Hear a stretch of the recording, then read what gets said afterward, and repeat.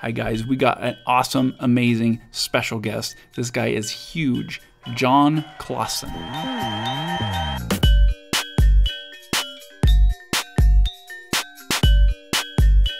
I worked with him at DreamWorks. I was it was a pleasure to actually share an office with him, and I learned so much just from picking his brain, uh, sitting in an office with him.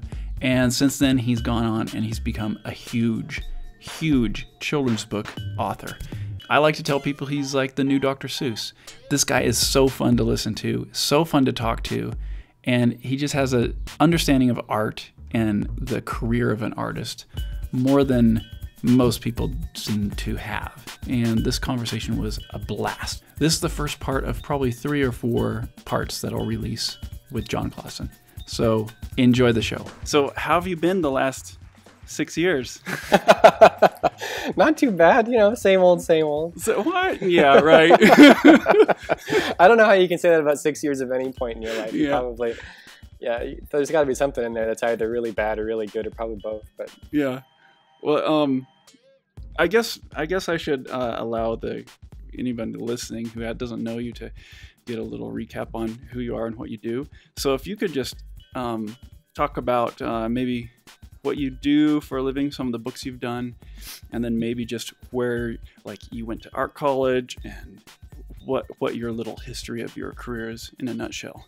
yeah, yeah, sure. Um, I went to. I'm from Canada originally. I live in Los Angeles now, but I'm from Toronto, uh, in the Toronto area uh, in Canada, and I went to college for animation. I went to Sheridan College up there for animation, and um, the uh, the program up there uh, was made and kind of came into its own during the 90s when Disney was sort of uh, hitting their stride again with all of the animated features. The, the Little Mermaid really kicked it off again, I guess, and so a lot of the direct to video stuff started happening as well with Disney making like features that were just going on onto video, and so there's a lot more animation work. And Sheridan was training a lot of these animators. They needed trained animators, and so a lot of these schools sprung up to kind of train these people. And that's what I thought I wanted to do, and so I went to school and just took a three-year animation course. Uh, and all I basically learned was how to animate. We learned how to sort of do storyboarding and everything else, but the main focus was was straight animation. But I I think I knew even when I was in school for it that I wasn't any good at animation and I didn't like it. Um, I liked drawing and I thought that was a job, but I didn't know the distinction between that and animating. And I found it out pretty quick. You do find it out pretty quickly. It turns out that you can draw uh, just fine and be a horrible animator and not find any interest in it at all, and vice versa, even, which is even stranger. I don't know how those people find out, but you can be a not great drawer and be a fantastic animator because it's a whole different skill. Yeah. I don't know how you come into it then, but uh, there are some kids like that, I think.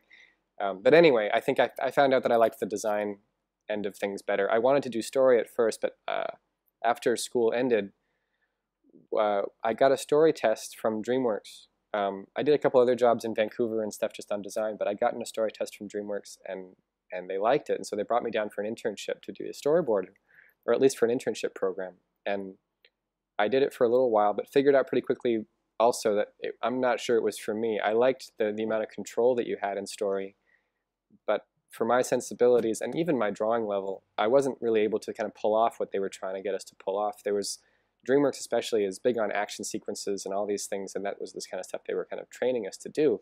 And anytime there was a fight or anything, I would sort of, uh, I would flub it. I would sort of say, "Oh, it happens off screen. There's a bunch of noises, and and you you know the camera rests on like an empty part of the room where a bottle rolls into every now and then. If it's like they would just, I would cheat it. I, I enjoyed cheating it, and I liked sort of leaving that stuff out. But I think you can do that in certain venues, but not in feature animation. and certainly not at DreamWorks. And that wasn't. I don't think it was a right or wrong answer to that kind of stuff. I just think it was a sensibility thing, and it was also just me not being very confident about how I would actually stage it and draw it. And so, a couple months into that, I'd gotten another offer to be a designer at Laika on Coraline. They were starting making features, and Coraline was going to be their first one, and they wanted me to come up and do uh, furniture and sort of sets and props and sort of just general production design work for it. And I loved that idea. I thought that was going to be way more up my alley, and so I went up there and worked on Coraline for about three years. And it was great. I think I really was suited to that much more than the story stuff, and I really learned a lot. Um, after that was finished, I came back down to DreamWorks with a design portfolio, uh, saying, "Hey, I, I wanted to live in LA again." Basically, I'd, I'd met my uh, I'd met my girlfriend, who's now my wife, and I wanted to be back down there. She had met me; she'd come up to Portland, but we both liked it in LA better. She's from down here. And I wasn't sure if Laika was going to keep going, and I was worried about a work visa because I'm from Canada. And so all those things together, I decided to try and apply back down here. And uh, I got the design gig at, at DreamWorks with the portfolio from Coraline stuff. And that's where you and I met, I think, was they Yeah. put me on a couple different things. At first, I was on some Shrek movies and some development stuff for a couple, for I think, about, about a, year, like a year, a year and a half. And then Was your the- first job the Secrets of the Furious Five, or it was it was on Shrek before Secrets of the Furious Five? I was on Shrek. I was on a bunch of stuff they had in development that, you know, they have, they have this kind of stable of people who just work on movies that they're thinking about. And Oh yeah. some of them don't really go anywhere, some of them do, but they can be years sitting in those hallways. And it's actually a really fun part of the job because you get to kind of blue sky it. But after a while, you get kind of discouraged that nothing you're working on is ever going to get made. Yeah. Um, and I think after a couple months on that, I was better at that than I think I was. They put me on Shrek for a little while. And again, I was, a, I was supposed to be a designer on Shrek. And Shrek, for all of its weird aesthetics, is a really hard movie to be a designer on, it turned out. Like, Yeah. it's a really tough show because the stuff that's, the style is so crazy, but it's also so like hyper real. Yeah. And I was really used to sort of doing graphic stuff. The stuff for Coraline was more like conceptual. It was, they were always going to build the sets. And so the paintings I would be doing for them got pretty rough because we knew we could follow up in the shop. The shop was just down the hall, and I could go down to the shop and give them this kind of rough sketch, and they would know what I was talking about. But the stuff for Shrek was like this really rendered, like it has to look like a film still, uh, with all the you know the reflective light and all this kind of stuff happening. And I was I was in over my head, and I think they knew it. And but they they had also seen my graphic stuff, and I think one day at lunch, Raymond and Tang, who were the production designer and the art director on Kung Fu Panda, kind of came up to my table or something. They had a we had a phone call or something. I can't remember what it was, but they were like, "Hey, we heard you're on Shrek. Uh, we want to show you what you're working on." We're working on, and they showed me the dream sequence from Kung Fu Panda, the first one. At least they were they were kind of halfway through it, and I had I had never seen anything like this. I was like, "What the Yeah. hell is this? You guys are making this here?" And they said, "Yeah, yeah, we are." And I was like, "Well, why are you showing me this? This is like torture. I want to do this stuff. Are you, are you going to bring me on or what?" And I didn't even know if I could cut it with these guys. Like these were the best guys, and it's exactly what I Yeah. wanted to do. But it doesn't mean you can. And um, but they're like, "No, yeah, come on on, and, and sort of we'll we think we can use you on the crew for the movie going forward. But it's just that this stuff." Let's see what let's, let's see what we can put together. And I think they were just starting on the Furious Five stuff that we met on, which was Okay. um, sort of an extension of that dream sequence into a you know a bunch of shorts that were going to look the same way. It was all 2D animated with James Baxter heading up the animation and the, and the compositing and stuff, and then us working on um, backgrounds and and and well, you you were you were a compositor at that point on this yeah, stuff, I but you started already out had compositing, yeah, and then I went into design later. yeah yeah, and so that was that was a leading up to our meeting was that was kind of the history of it. I've been bounced around a little bit. Yeah. Now I remember seeing some storyboards you did for DreamWorks, and it was like I remember like there's like penguins just standing Yeah. there with blank expressions, and then and then there's something else. One of them moves their head. It was it's exactly like out of your books, but it just totally. It was like I think that's what it was. I think there was something subversive. I didn't think it was subversive, and I've never felt subversive. But when I got a hold of this stuff, DreamWorks would give you scripts to, to Yeah. try and board. It was scripts that they weren't going to make. It was stuff that they'd played with but decided against making. But you were in training, and so they said, "Well, here's a script we're not going to make, but let's see what you do with the sequence." So they give you a script, and you board a sequence. And I hated the script they gave me. I remember not liking it at all. It was crass, and it was all the things. You know, DreamWorks has gotten a lot better at this, but certainly at the time they were still doing jokes I wasn't really interested in, all this kind of stuff. Yeah. And so I was mad. I think I was I was feeling snobby too. I was feeling snobby the way you feel when you're like 24 years old and you're you're, you're out of your element and you're scared, and so you're just like I'm just mad at everybody. And so instead of sort of giving them what they would have wanted, which is like a highly rendered, really overacted board, I gave them like popsicle sticks with eyes, basically. And I thought I don't think that it was me being a punk like a jerk. I liked the job and I didn't feel like I wanted out necessarily, but I wanted to try and see I was more interested, I guess, in the dry aspect of boarding and how dry it could look over top of this crazy material. Oh, okay. and- And it just also seemed like the boards I was seeing it was mostly a staging job. Like it wasn't you weren't acting, I didn't think. You were you were giving opportunities for acting for the animators who were the real actors. But you were basically setting up these shots so that the thing had room for them to do their thing. And so all my boards just looked like they were just cardboard cutouts of the same character being moved around, which is essentially what they were. We were drawing with them with sharpies and stuff. Like we weren't uh, using Photoshop yet for those boards. We were pinning them and drawing them on real paper. But it was also like I loved how much you could get out of so little with these boards. It was so much fun. I'd never done that before. And all of a sudden, just by moving someone a quarter inch over from the next board, that meant that they shuffled over a little bit. And that was a real emotional thought. And I, I was so excited by how minimal you could be and still get like Yeah. like like distance out of it. But DreamWorks did not see it that way. They were just like, no, what the hell is he doing? He has to make him do something. I was like, he did something. He did a Yeah. lot right there, and that they, it was Yeah. just a totally opposite thing. And so when we were working on design stuff at DreamWorks, I got um, book illustration work just in the evenings to do my own. And I- hadn't boarded in a long time, and I hadn't really been doing much narrative work, just design with you and, and you know the movies and and everything else. But as soon as the book stuff came along, all that old sort of stuff came back where I was like, oh, wait a minute, picture books, that's what this is for. It's for skipping mm. the action and landing at the moment after or starting the moment before. And it's meant because you can't show action in a picture book. It's not a moving medium, it's a still medium. And so you have to skip action. That, that's what it's best at. And all of a sudden it was just like, okay, now I know the sort of a process of elimination. Like, this is what I like to do. This is how I like to tell stories. And maybe I can make a go of it because this medium kind of meets me where I like to be Yeah. met. And so that that must have been when like right before we started sharing an office because you were kind of already into that like picture books like mentality. It's like you were obsessing over it at that time already. Yeah, and think I was so. that's think when I was couple things have obsessing over up. my thing. yeah, yeah, we both kind of met in this job where it was a great job. I think that a lot Yeah. of people like, you know what I mean? Like everyone I talked to was just like, "Wow, that's a great gig," and I agreed, it was a great Yeah. gig. But we both met in this place where we were just like, we were sort of having affairs with other mediums and sort of secretly talking about it in this office and, and just really falling in love deeply with this other Yeah.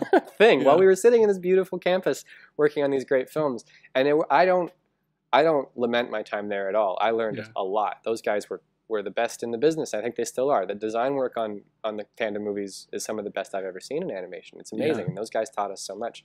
But I, I'm glad it went the way it did.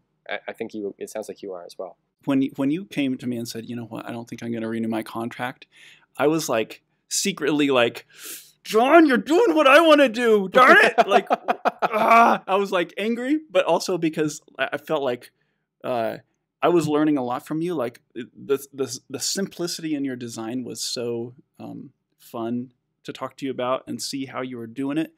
And um, so you leaving was such a huge like inspiration for me because I was like, someone did it. They actually uh, got out of this job that is great, and it's kind of the top of the animation industry job, I guess.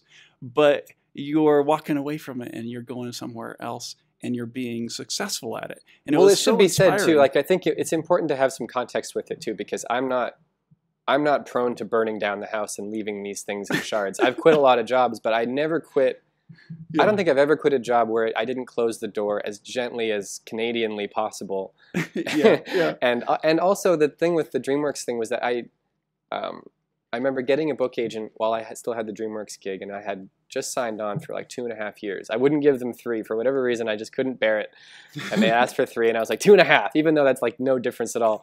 Um, I just couldn't sign away three years, and I think that's that'll show right away where your head is at, even though you don't want to think so. But it's, but they. Uh, but one, it was, and I got a book agent and I said, I have two and a half years left in this contract. How much work can we scare up? Like, can I hit the ground running um, when this contract is up so that maybe we can, I don't have to sign up again? And if that was like, if that's not necessarily quitting, that's just not asking for a new contract. So all those things together is like, I felt like it was like the safest way to sort of, you know, you, you can say, look, back, look on it now and be like, yeah, I left this studio gig and all this stuff. But I really, I think I left like five door stops between the door and the door Yeah. jam because like I didn't, I was Yeah. like, this is, this probably isn't going to work. And I'm going to have to come back here. I'll do two or three books. You know, I'll get my, I'll get this out of the way and get my sort of, you know, get this little phase out out and done with, and then I have to come back and and and you know, it wasn't a bad, it wasn't with- a yeah. horrible thought. It was just like this will this will do for a few years. I had no idea if it was going to work or not, and so yeah. you know, it, it, it, you can yeah, you can say that it was this thing where we left, but um, yeah, I well, I really was, I'm in the same boat too. Like, Yeah. I, I signed uh, a year and a half freelance contract with them just so I could keep that door open, even though I left, or I, I didn't renew my contract, and then I signed another one saying, "Yeah, I'll still take freelance," but then I, I've I, I've been too busy to take it. So, um, and I think it's about ending now, actually. Oh, really? So my strings are finally kind of a little bit more cut, but but yeah, I try to do it as politely as possible. I'm still Well, you're just so you're just like there's no knowing, right? yeah, Even if.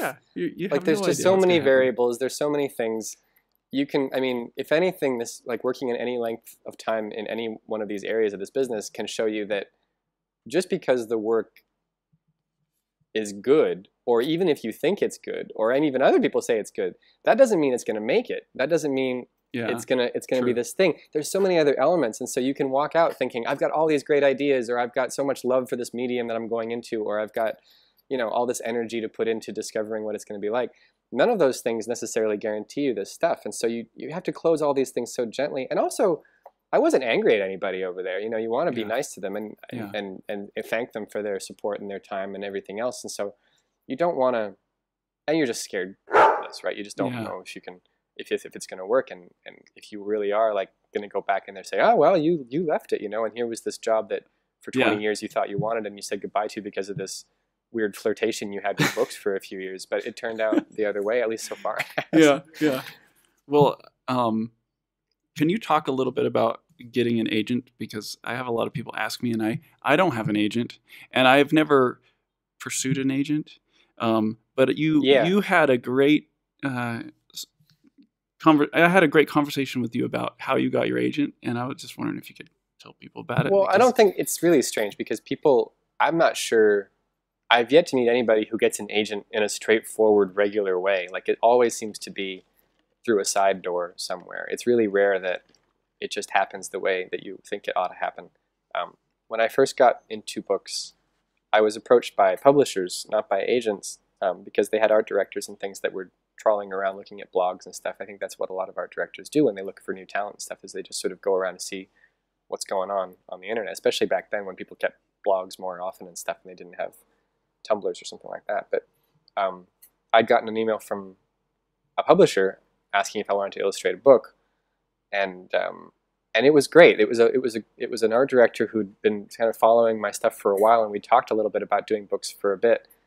Um, and we just never sort of found the right time, or I'd pitched her some stuff, and and it was based on my short film, and it didn't really work. Um, but we found like she kind of kept track of me, and it was really nice. It was about as nice as a thing as you can hope to happen to you. Is that it's like this art director kind of keeps you in mind for these books. Mhm. And so she finally did uh, kind of find something that we could do. But I was worried because I didn't know anything about contracts with books, um, and I'd Mm. heard that you know the advantage with books was that you can keep everything you draw. With animation, we're just used to signing everything away, right? And you're just Mhm. working for your time. But with books, it's supposed to be that you keep your drawings, and they just get the right to publish them in that Hmm. format. Mhm. And so, um, and also I just didn't know about book advances. I didn't know what was right, what the percentage of residuals was supposed to be, any of that stuff. And so, um, the only person I knew who was doing books was a friend of mine uh, at another studio. And I asked him if he had an agent. And He said, "Yeah, he did." And he he gave me the guy's number, and I called him. And he was okay. He was. I think there are different kinds of agents with different models of how they go about agenting. And this guy's model was that he was mainly a lawyer, and he was going to vet any contract that I brought along, but he wasn't going to find me work. Mhm. Um, and he said, like, you bring me contracts, and I'll make sure you don't get screwed. But I'm not going to go out there pounding the pavement for you. And at that time, that's what that was all I needed anyway, because I needed I had this contract in hand. It didn't sound ideal because I knew I already wanted someone to kind of go out there and, and help build like a job for me. But in the meantime, I, I just didn't have any other options. And so um, we went together on this book. Um, but I was talking to another editor who had written me about doing books who I was pitching stuff to, and talking to her about this agent and saying I was having some problems with him. We, we weren't. We, we were trying to figure out something and I didn't like how it was going. And she's like, "Oh no, you need a different agent. You need a guy who's gonna. I know a good agent. I'll set you up with him." And so, um, she put me in touch with this with, with the guy I have now, is Steve Malk over at Writer's House. And it was like we had a phone call, and it was just sort of this great kind of falling in love phone call where it was just like we understood each other, we understood what we each liked about books and what we wanted to do in them. And he's just a real purist about picture books. He didn't want anybody, and still he doesn't want anybody who's just going to do it in a supplemental way. He wants someone who's all in Yeah. and who, like there's a lot of illustrators I think who, especially now, more and more view picture books as this way to sort of make money while you do what it is you really want to do. Um, and it's, I mean, there are some good, there's some good books that come out of a process like that, but I think there are more good books that come out of the process where people are like, um, this is what I, you know what I mean? Like just Yeah. I, I think there's there's some gray area, and I certainly understand the gray area because of course you have to do a lot of different kinds of work to, to make a go of anything on the illustration job. But um, Steve was mostly interested in whether I wanted to pursue this as, as a career or not, and I really was. I was, and he I think he could tell I was being genuine about it. And mostly it was just him sort of explaining too that books are a whole different landscape, full of its own politics and its own people and its own traditions. A very traditional, still a very traditional sort of area of work. And so having someone to kind of say like, are editors supposed to do this? Am I supposed? Can I ask this of an editor? Can I ask this of an art director? Can I make demands this way, or can should I let this argument go? That kind of thing, where you're not really sure um, how things are done in books. I can call him, and I and he explained this to me. He was like, look, just call me about anything you want, and we we can sort of make a plan about you know what kind of illustrator you want to be. Do you want to be a hard nosed guy who argues everything and and takes high advances? Because they are those guys and they're very successful, and that that's the kind of person that, or that's the kind of job that attracts you. You can do that, or you can be someone on the other side of the spectrum who takes low advances and doesn't argue. Like all these things, these, you can put together sort of your your business model, at, for lack of a better term, and sort of be this like act how you want to act, and sort of make a plan for what that's going to mean for the next few years. And it was just so interesting having someone talk to me about that and saying like, look, this is a this is a long game. Um, Mhm. At first, it's not going to be hugely profitable, but um, and it might never be. We have to figure that out. But this is these are your options and what appeals to you. It's almost like a stockbroker when you don't know anything about money, going in and, and they're like, if you don't know anything about investing, they'll ask you very simple questions and just try and break it down, right? To kind of say, Yeah. well, are you low risk or high risk? Does this appeal to you? Does that appeal to you? And you don't even know how those answers are applying to what it is they're figuring out, but they come to you at the end with a picture of what they think you are like as an investor. And that's kind of the same thing as what Steve did. He's like, I think this is the kind of illustrator you are. Um, and it was really helpful because all of that stuff is beside the point of illustrating. It doesn't mean that you can be a great illustrator and horrible at that whole other side of it and wreck it. Um, it really helps to have someone explain and help you Mm. be a person in the world as not just an illustrator. Yeah, It's great. Yeah. And you were saying before when I talked to you about it that, um, and I guess you kind of mentioned this, but you basically were uh, picked up kind of by a, a publisher, and then you went to an agent and said, "Hey, can you sign on because this publisher wants to publish me?" Right? Instead Yeah. of the other way, which is find the agent who will then find the publisher. I think it can go. Yeah, it can go. I mean, yeah, it does sound like a pretty sweet way to kind of go about it because you go in there with contract in hand. And Yeah. again, like I, agree. I, the, the art director who who brought me on, Lucy Cummins, who we still work together on some stuff every now and then. Yeah. Um, she really like I.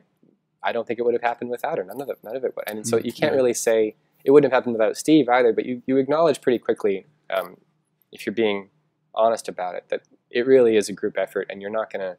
You know what I mean? Yeah. Like you need that. You need those footholds and those people helping you up. Um, Yeah. and I don't know how to explain how that happens or how to how to make that start because I Right. didn't start it myself. It was something like I kept putting work out there, and I think that my work was sort of lending itself more and more to book work because I was getting more and more interested in text and sort of Mhm. simpler illustrations. And so, I think when the art- when the art director saw it, she was like, "No, I can use this." Mhm. Um, so that helps them, but you can't say that you know.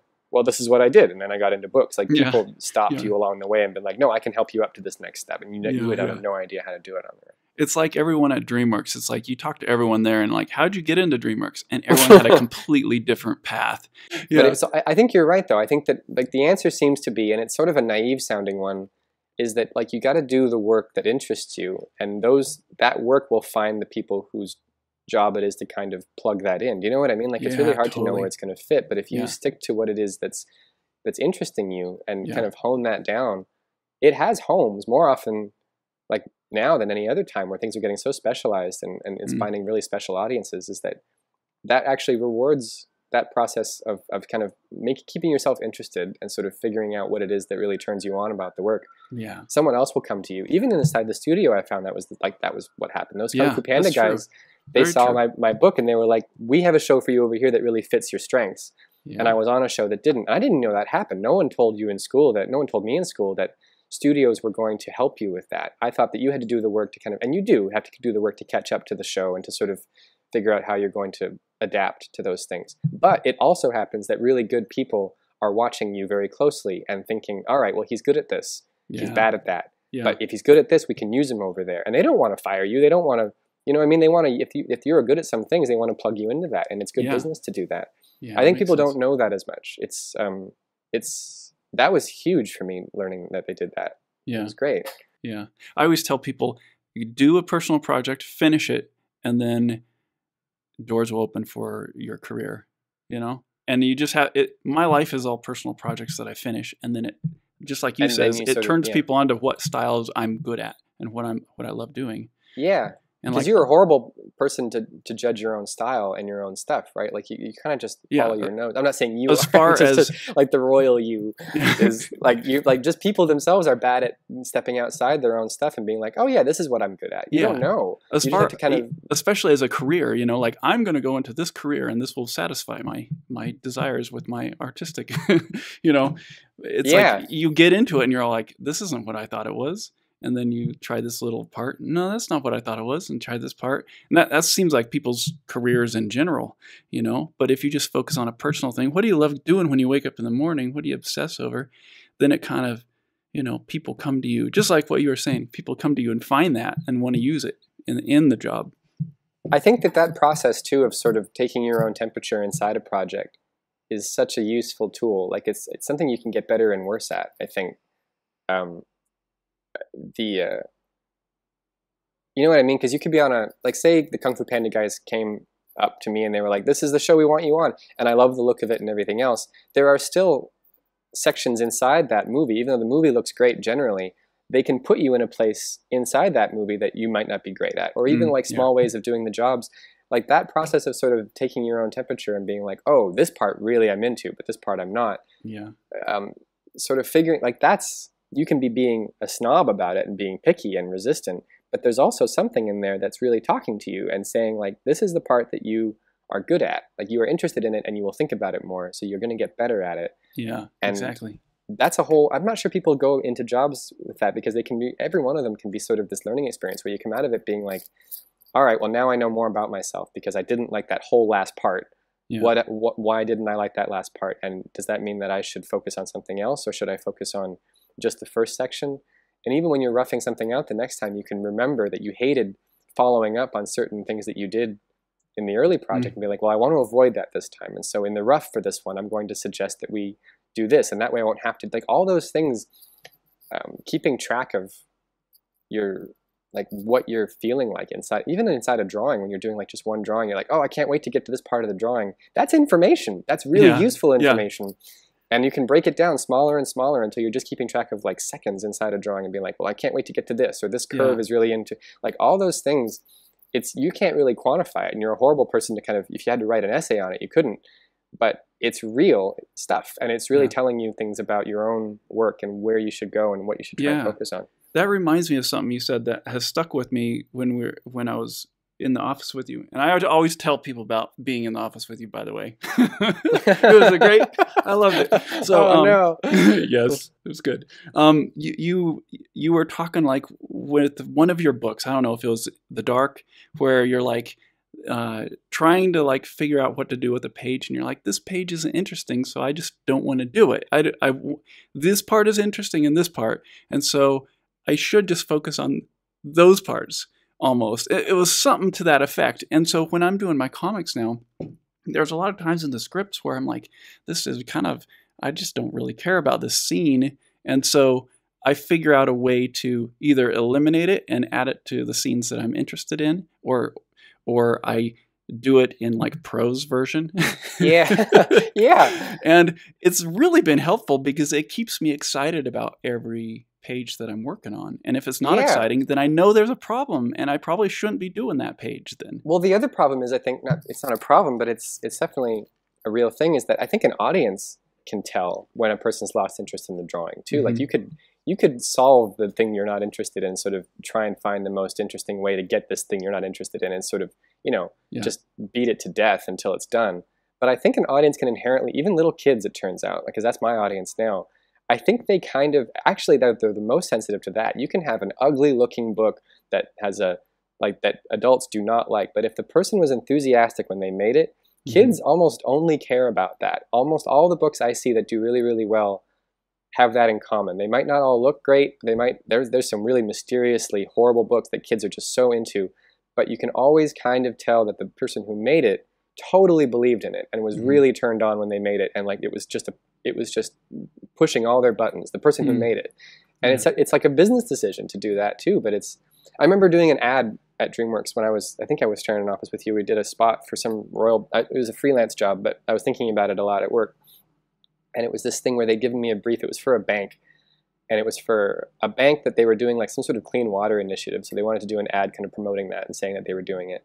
And so the first half of the commercial was all like really nice natural forest scenes and icebergs and things, and it was great. It was really fun, and it was exactly what I like to draw. But the Mhm. second half of the brief was like, and then we transition into how we're applying it as a bank, and we want illustrations of like people at, at like a conference, all at conference tables, and then that goes into like people looking at charts and things. And I was like, I was so turned on by the first part that I was like, oh, I'll get to that. I'm sure it'll be fine. And then I got to it and I was like, there is no interesting way I can draw this. There is no way to, in, to, to draw an interesting conference room. Like I can't do it. Yeah. And so I remember just thinking, like, admitting that to myself and to the director, saying, like, look, maybe someone else can draw this really well, but I would suggest that we skip this whole conference center part and just show like a deer drinking from the water and the ripples from the water can be i said something dumb like that where it was like the ripples can represent the cause and effect that you're trying to look at with this. And he was like cause and effect yeah. And i think maybe he understood that i was bullshitting it too but he knew he could sell that to the agency who could sell it to the bank. And so it was going to be okay. And that's what we did. And so it was like we you kind of figured out like maybe there isn't a way to solve this. And i know i can draw the other thing and it's going to look better anyway like you do that to your own stuff too you were like well i Yeah. can't that's never that might be a really interesting story point but i can't find an opportunity in there like i can't find Yeah. a way into that problem and the more you sort of figure out that you can do that and that it's it actually makes and no one knew you know the people watching the commercial will never know that there was a potential conference center that that Yeah. got left on the cutting room floor they just see a very cohesive sort of deer head coming out of the, the thing Yeah. but that was a big lesson when I finally when like when they took that note and they were like, "Yeah, we'll do that. That sounds like a great substitute." Because you Huh. explained like, "Look, I you have hired me and I can't make an interesting conference room drawing. So what do we do?" And they can fire you and you lose that job, but then you didn't have to draw a conference center, or they take your note. And Yeah. one like either way, you don't end up with a portfolio of stuff that you're not happy with. See, that's what's so interesting, I think, about your personality that's always been attractive to me is you don't you don't try to become something you're not. And so many artists, they they manipulate their styles to kind of to be able to to to, to be whatever it is that they're called to do. And so they may become more diversified in their skill set and their styles, but they it doesn't seem like they're very satisfied with their careers because they're just kind of like doing whatever everyone else wants them to. And it seems like you've always had this kind of mentality of like, I, that's cool, you guys, but I don't draw that, so I don't know how you're going to get that out of me.